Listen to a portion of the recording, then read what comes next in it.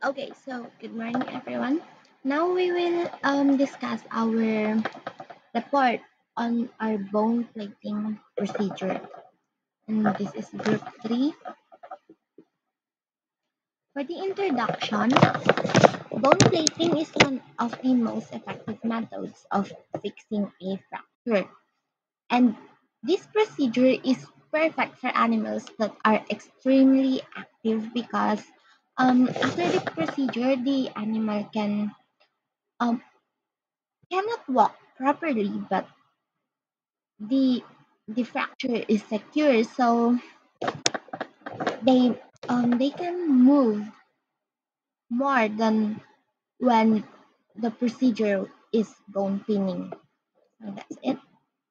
And for our indications, we have fracture stabiliz- stabilization.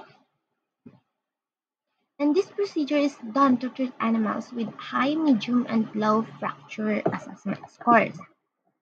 For the anatomy of the femur, which is our specimen, we have um, the greater trochanter, which is um, here on the upper part, and the lesser trochanter is supposed to be on the upper part also, but um, just on the other side and lower.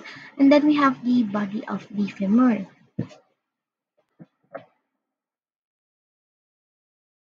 Next, we go to our operative technique. So the first thing that we did is um, we have to bend the screw plate depending on the angle of the bone specimen and it should fit just perfect on the bone surface so this is done to make sure that the bone won't move after the procedure.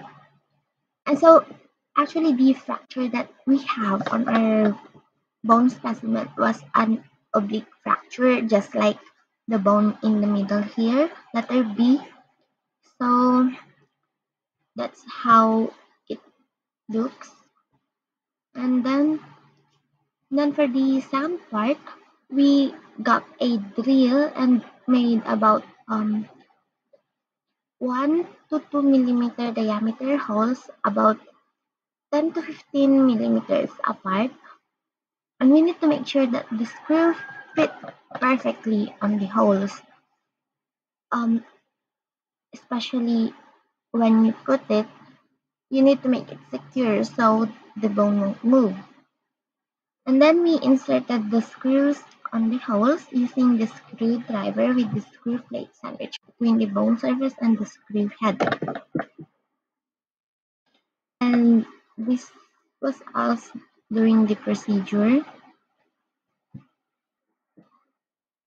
So for the post-operative preparation, if this was a live animal, um, analgesia is provided after the surgery, and um, activity needs to be re- restricted. So um, the animal can only go on a few exercises, probably only during the time when he needs to pee or poop, um, but not like a fun play or something like that. And the animal also needs to go on a rehab or physical rehabilitation to control the broken limb and radiographs of the fracture are taken to document and assess the repair.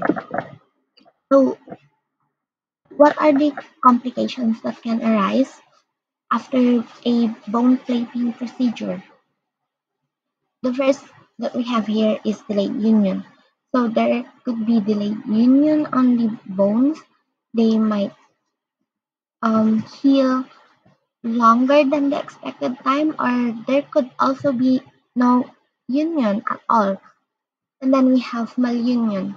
So um, during this one, the bones are uh, there is union in the bones, but not on the um, correct position or area.